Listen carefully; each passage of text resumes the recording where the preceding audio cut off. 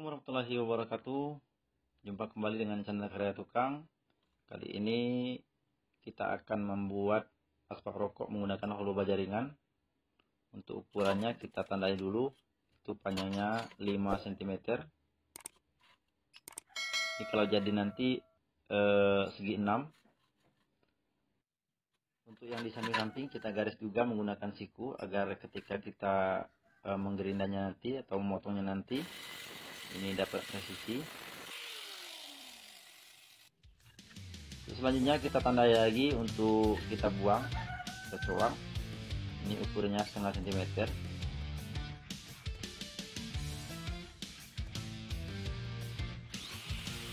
Lalu kita gerinda lagi seperti ini.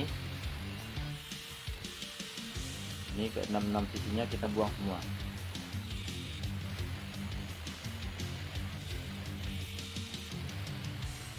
kita potong menyamping seperti ini. E, selanjutnya yang sebelahnya juga kita potong lagi.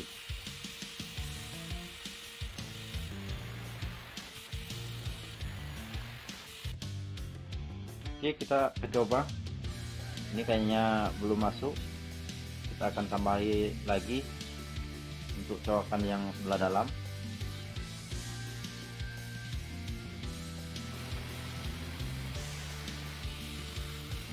potong lagi menggunakan gerinda.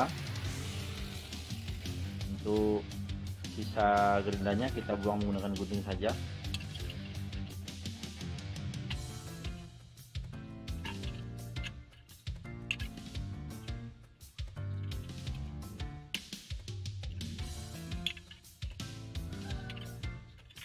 Agar ini mudah masuk kita angkat e, untuk sisi hulunya.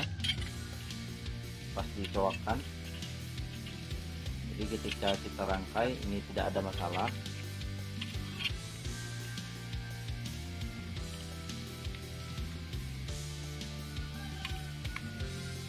Ini pas. Jadi untuk favoritnya ada dua di atas dan dua di bawah. Oke kita akan gabung seperti ini. Kita buat dulu menggunakan baut eh, baja ringan lalu kita lepas lagi kita ganti dengan factory pad untuk yang di bawah juga sama kita bor. Lalu kita ganti dengan factory pad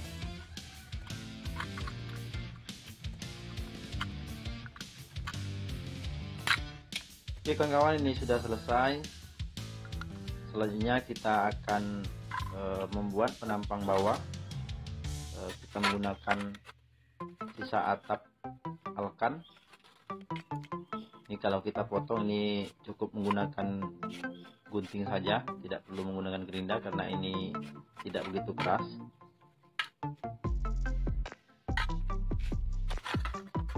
Setelah di diplah sisa potongan. Usahakan untuk potongan e, garisnya hilang karena dia akan e, tidak terlalu keluar nantinya ketika dipasang aman untuk tangan ataupun e, tergores dengan apa saja. Untuk kulit ini aman. Ini sudah terbentuk. Selanjutnya kita buang ujung-ujungnya supaya tidak tajam. Oke langsung kita rangkai untuk sebelah bawah. Kita bur lagi menggunakan baut baja ringan.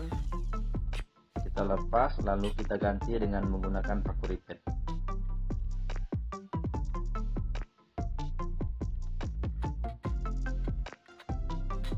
untuk satu sisi ini ada satu paku ripet jadi enam sisi eh, jumlah keseluruhan ini ada enam paku ripet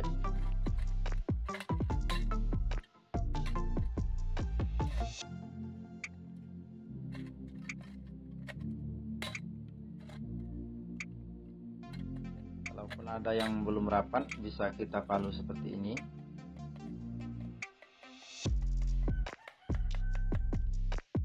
Inilah uh, asbak rokok menggunakan holoba jaringan. Sudah selesai kita kerjakan bentuknya seperti ini. Ini ada untuk sambungannya ada satu.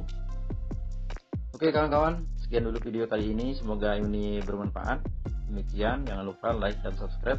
Terima kasih atas perhatian dan saya akhiri. Wabillahi taufiq wal hidayah. Wassalamualaikum warahmatullahi wabarakatuh